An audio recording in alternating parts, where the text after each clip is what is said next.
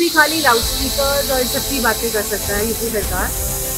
और मेरा मानना है कि अब यह सवाल है आने वाले समय में कि लोगों को रोज़गार कैसे मिले, कि प्रदेश आगे कैसे बढ़े। ये लाउड स्पीकर लगना, ना लगने के माध्यम से ना हमारी महिलाएँ, हमारी बेटियाँ सुरक्षित हैं, ना हमारे युवाओं को रोज़गार मिल रहा है, ना हमारे किसानों की आय दुगनी हो रही है। उत्तर प्रदेश के मैनपुरी से लोकसभा सांसद डिम्पल यादव ने योगी सरकार पर निशाना साधा है।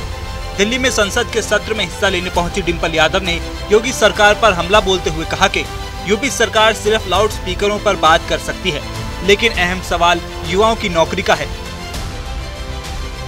डिम्पल यादव ने कहा कि लाउड स्पीकर को लगाने या हटाने से महिलाओं की सुरक्षा सुनिश्चित नहीं हो सकती, और न ही इससे किसानों की आय दोगुनी होगी।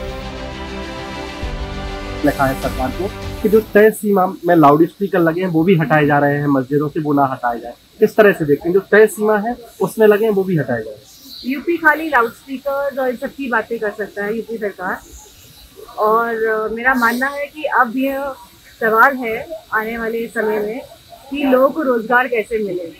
कि प्रदेश आगे कैसे बढ़े।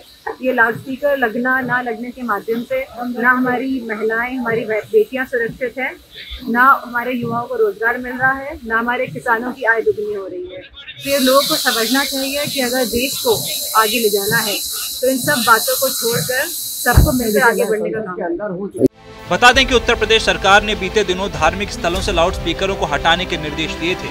साथ ही जिन स्थलों पर लाउड स्पीकर ज़रूरी थे उनके लिए सख्त नियम निर्धारित किए गए थे। इसे लेकर प्रदेश की सियासत में काफ़ी बवाल मचा था। तो वहीं साल 2022 में भी धार्मिक स्थलों से ऐसी कितनी ही तस्वीरें सामने आई थी जहाँ मस्जिदों से लाउड स्पीकरों को हटा दिया गया था।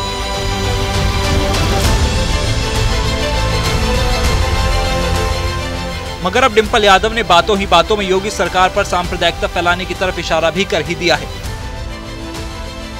एक आंकड़े के मुताबिक यूपी में लगभग चौवन हज़ार से ज़्यादा लाउड स्पीकर उतारे जा चुके हैं, जबकि साठ हज़ार से ज़्यादा लाउड स्पीकरों की तय मानक के अनुसार आवाज़ कम की जा चुकी है।